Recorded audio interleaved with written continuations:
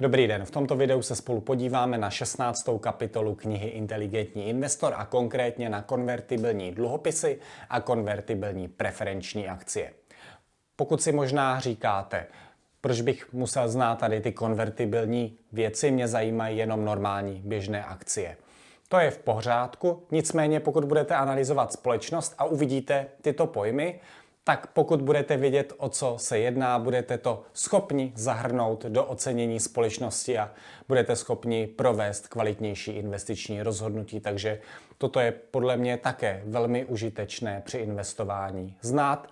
Navíc v některých případech můžete naznat, že je zajímavější preferenční akcie či konvertibilní dluhopis než kmenová akcie, tedy toto video vám také rozšíří to spektrum věcí, do kterých můžete potenciálně investovat. A jako takovou třešničku na dortu, aby to nebylo jen takové suché, jsem si také připravil kalkulaci konvertibilních dluhopisů Tesly, která přijde velmi záhy.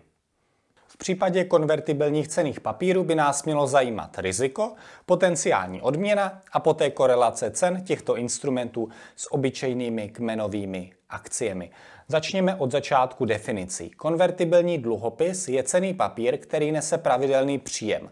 Má tedy určitou úrokovou míru, stejně jako normální dluhopis. Ovšem navíc v sobě obsahuje opci, tedy právo dluhopis převést na určitý předem stanovený počet kmenových akcí. Konvertibilní preferenční akcie je velmi podobná. Také nese pravidelnou dividendu, i když nemusí být tak jistá, jako v případě konvertibilního dluhopisu, a lze ji převést na určitý počet kmenových akcí. Preferenční akcie jsme detailně diskutovali v jednom z předcházejících videí, odkaz na video nechám v popisu videa níže. Konvertibilní dluhopisy a preferenční akcie tak jsou jakými si hybridy mezi dluhopisy a akciemi. Přibližme si to na konkrétním příkladu. Konvertibilní dluhopisy již zmíněné Tesly. Jen pro upřesnění, toto není investiční doporučení, nevlastním žádné akcie ani dluhopisy Tesly a při těchto cenách nemám v plánu do Tesly takto investovat. Dole máme tabulku různých sérií konvertibilních dluhopisů Tesly. Vybral jsem sérii vydanou v roce 2014 se splatností v březnu 2021. Tento dluhopis nese úrokovou míru 1,25%, což je na první pohled směšně málo. Proč? Protože tady jde zejména o vyměnitelnost tohoto dluhopisu za akcie Tesly. Tento dluhopis si nebude kupovat někdo, kdo chce pravidelný příjem, ale někdo, kdo chce provést bezpečnější sázku na růst Tesly, konkrétně akcí Tesly, než je formou kmenových akcí. Vlevo je graf ceny tohoto dluhopisu. Nominální hodnota činí 100 dolarů a tržní hodnota je 569,81 dolarů. Na kolik akcí Tesly je možné tento dluhopis převést? To zjistíme v tabulce dole, kde je nominální hodnota 1000 dolarů. V řádku Conversion Ratio 2,78. Tedy za jeden dluhopis v nominální hodnotě 1000 dolarů mohu získat 2,78 akcí Tesly, což odpovídá konverzní ceně 360 dolarů. Toto jsou čísla před splitem akcí, který Tesla provedla. Vpravo můžeme vidět, že cena kmenové akcie Tesly činí 431 dolarů. To už je po splitu. A uprostřed je můj výpočet, jak tyto ceny dohromady dávají smysl. Pokud prodám dluhopis, získám 431 krát 5, protože Tesla učinila stock split, z jedné akcie tento rok udělala 5. Krát 2,78 a děleno 10, protože nominální hodnota na grafu vlevo je 100 na místo 1000. A takto dostávám 599 dolarů, což přibližně odpovídá ceně konvertibilního dluhopisu 570 dolarů. Také můžeme vidět, že ceny obou cených papírů se pohybovaly v podstatě stejně. Tedy konvertibilní dluhopis se choval jako akcie. Nejsem expert na konvertibilní cené papíry, toto byl můj selský výpočet na základě rychlého průzkumu informací. Pokud jsem něco zanedbal, prosím uveďte to do komentářů níže.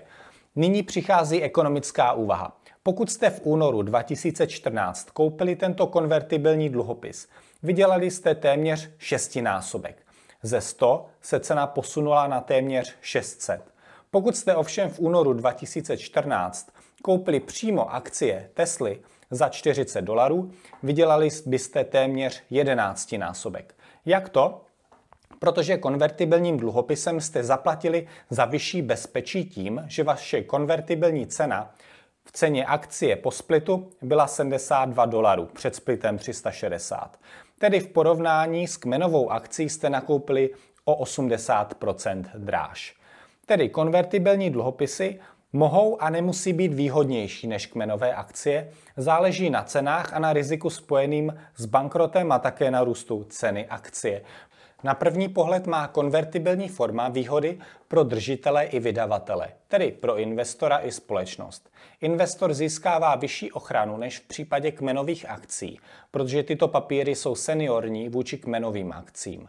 Senioritu jsme diskutovali opět ve videu o preferenčních akcích.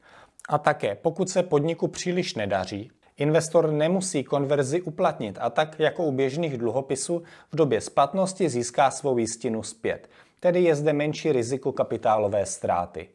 Konvertibilní dluhopis je výhodný i pro vydávající společnost, protože ta díky možnosti papír směnit na kmenové akcie, díky této opcionalitě navíc, vydává s nižším úrokem než v případě běžného dluhopisu.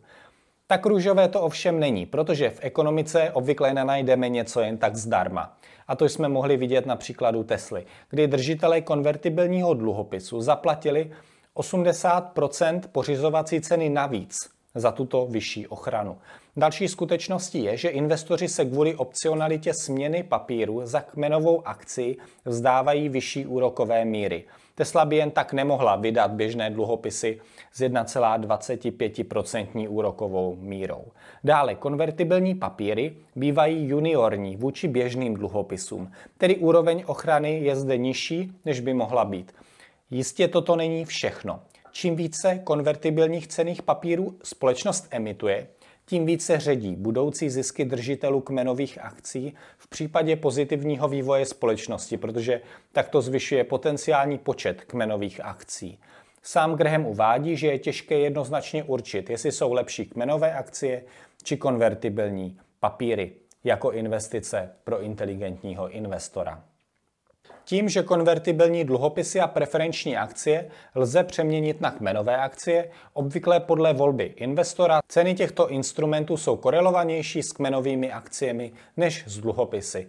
Konvertibilní dluhopisy a konvertibilní preferenční akcie mohou být okolo 80% korelované s kmenovými akciemi, ale pouze ze 30% korelované s dluhopisy. Záleží opět na tržní ceně a konverzní ceně. Graham vzpomíná staré pravidlo na Wall Street. Nikdy nekonvertuj konvertibilní dluhopis.